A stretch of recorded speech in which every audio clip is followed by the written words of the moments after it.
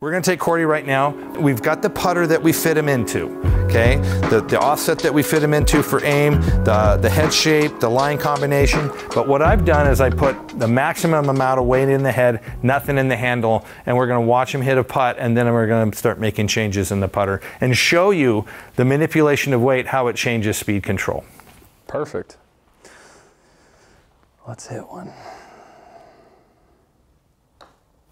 So right off the bat, short, linear, right? He doesn't take it back long, accelerates to a stop, right? So he gunned it fairly good by the hole, right? But Yeah. that wasn't his fault. He went to what he thought was the correct amount of pressure. Now think about this.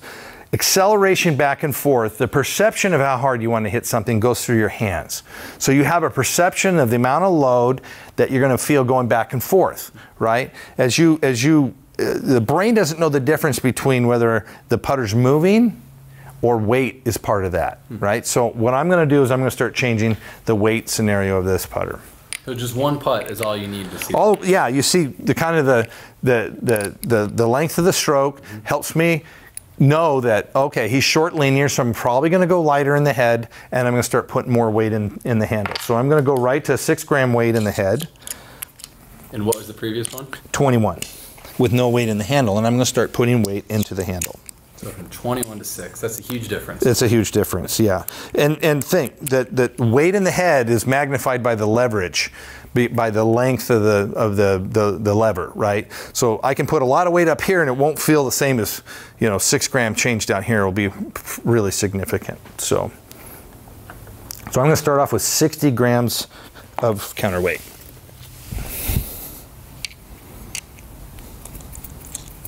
And I'm basing that on you being short linear. So if you were middle linear, I would put maybe 12 grams as the starting weight, and then I would start putting some internal weight inside of the shaft. totally different feel. I would describe this personally as it feels more balanced to me. Okay, yeah. I- That's just what I feel. Okay, quite a bit shorter, right? Yep. So, so we still need to slow you down. So being a linear stroke, you're putting a lot of force into the handle, right? You're not swinging it. You're not waiting for this thing to swing like a, like a tire on a tree. Um, so we're going to add a little more weight to the top of the handle, which tends to get this fulcrum push feel, right? So you got a weight here, mass here, and then in the middle you start to feel this kind of like really neutral baton feeling, like you're spinning a baton in the middle where you have weights equal equidistant on each side. So, so, is thi- so, is to, called- what's that? Is this called counterweighting? This is called counterweighting, yes. Internal weighting would be putting stuff inside of it, right? Counterweight would be weight at the top. And so a lot of us, you know, you go to a box store and you see a putter that says counterweighted. Yes. Right? You don't know what the weight is in the No. um, up here necessarily, right? Not You're with necessarily. different amounts of weight. Yeah, I'm playing with different amounts, right? They they fix it and then they put a lot of weight at the top of the, at the bottom of the putter to offset. That's the I think that's where the industry goes wrong is they're adding uh, the minute they, they say we're going to counterweight a putter, they feel they have to immediately go put weight into the head. Where I feel you take weight out of it. The more weight you put in the handle, you take it out of the head. If you need more weight in the handle, you don't need it in the head. Interesting. Right. Interesting. Uh, so I mean, right off the bat, I feel this is, feels actually even more solid to me. Um, feels heavier. Okay? I feel like I reacted to that because I felt it heavier. Okay, just hit one more. Just try it one more time.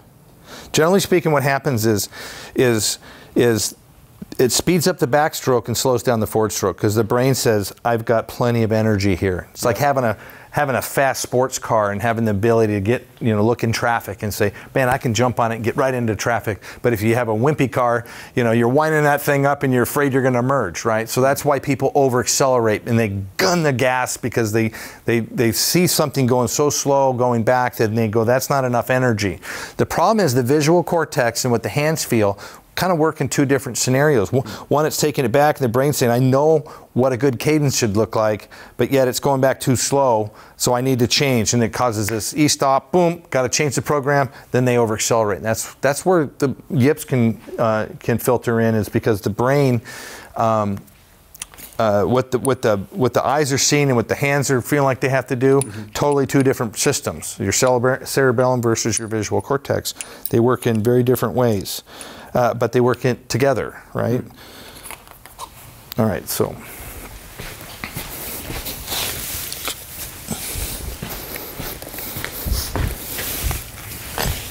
So again, we don't play Goldilocks. We don't hit four or five putts trying to figure out what the right weight is.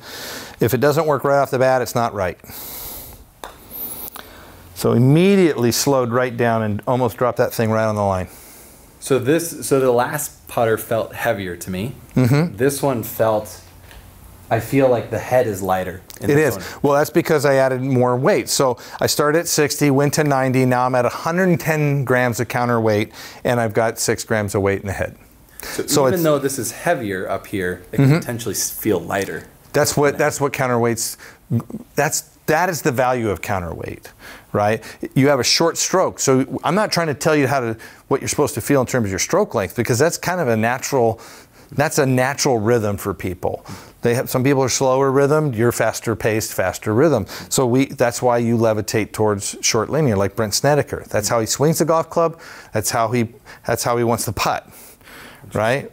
So you got Nick Price, who's right, and his putter was the same way, hmm. right? He doesn't want a slow putter. He's that's the way he puts. And you see somebody like Crenshaw had a lot longer flowing swing, and his putter motion was the same. So we you shouldn't have a disparaging difference between how you putt and how you play golf hmm. because the timings are the same. So so that counterweight scenario uh, is completely different right? Counterweight is helping you release the putter. Hmm. Where before all the weight was in the head, and then we've just totally switched all the weight to the top of the putter. It actually strokes light, but you know if you're holding it, feels fairly heavy because there's 110 grams of weight in the handle. So people say, "Wow, this putter's heavy," and then they stroke it and they're like, "Wow, it's really light." Yeah. Right? It's very nimble.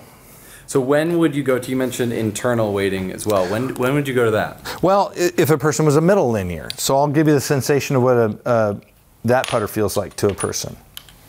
So I'm, I'm taking out the, the six gram weight, I'm putting in six more grams, Okay. which should and would feel more significant um, because it's, and then I'm going to put a weight down inside of the shaft and I'm going to start down low. Anything below the hands is going to feel have the semblance of head weight, right? So we don't always have to put weight in the head to get a head weight feel. That's not necessarily what a linear player is looking for. They just want something to feel like there's more mass somewhere in the golf club, right? They've always had to articulate it through head weight because they've always slathered lead tape or whatever on the putter. Oh, I like that feel better, especially when greens get faster. You know, as the summer goes along, sometimes the greens get really fast, right? In some places they get even slower because it gets hot. You know, if you're in Memphis, Tennessee, you know, it's getting hot. They're trying to keep the greens alive, so they're pumping water and they're growing them out. So uh, we can see a lot of changes in green uh, green speeds. But a lot of people say as the greens get faster, they tend to like to, they, for some reason, they like putting head weight on a putter, which is the right direction to go. But it doesn't always have to be in the head. It can be down inside of the shaft.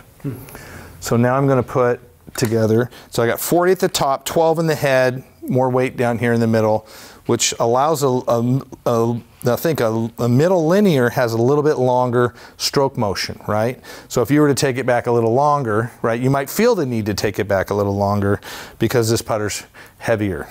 So I right away feel this is a heavier putter Mm-hmm. generally from what we last did, which was six grams in the head and 110 in the counterweight. So you'll start seeing tendencies of overacceleration in your type of stroke. If you're short linear and that putter feels heavy, you feel like, wow, I gotta, I gotta get that thing moving, and you start to get real poppy, and that's where, I, that's where you'll start to see uh, disparaging, um, you know, the pattern of weight causing a, a, a really strong reaction. Yeah, I mean, for me, what I feel when I feel this is like, oh, I need to slow down a little bit, maybe as a reaction to that. I feel like this, Mm-hmm. Or take it longer. yeah, this better, you know, do some of that. So it's interesting. Yeah, often through the fitting process, I will see a middle linear, a, a, you know, short middle linear become a short linear, and I'll see a long linear become more of a middle linear when you actually weight the putter correctly, because everything gets more efficient.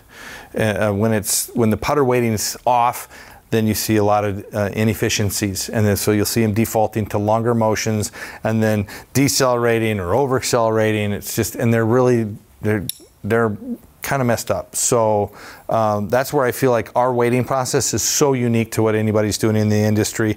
Nobody's doing what we're doing that I know of, and uh, it's very hard to do if you have very if you're starting with very heavy head weights. Um, so So you had me at a short linear, Mm-hmm. and kind of the one that I liked the best, and went was the six uh, six grams Mm-hmm. head, and then one counterweight. Is that what you'd expect? Is that normal? Mm-hmm. Totally. that That's type? that's pretty much you know par for the course on uh, short linears. Middle linears, we'll have them hit a putt. If they hit it short, we'll raise that weight up, right? Um, if they if they hit it long, we'll push it down or go to a 75 gram um, Optivibe in there, um, and and and potentially take out this weight completely and put the, move the weight up and down here with a 75 gram. Um, it could be a 30 down low and a 70 up here. So it's all kind of a process of elimination, and there's always a, a moment where that player goes, "Wow, that felt uniquely different," and they'll roll ball after ball after ball.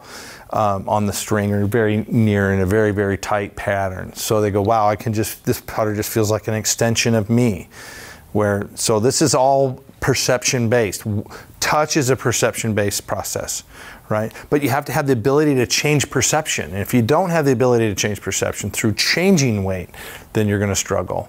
You're always going to think it's you and you're going to have to go to the putting green and practice and practice and practice to just get a feel. And then you're always going to go i feel like i hit that too hard and you look up and go oh that went short or i hit that too soft and then it's gone too far. And you're like why am i so confused? Hmm.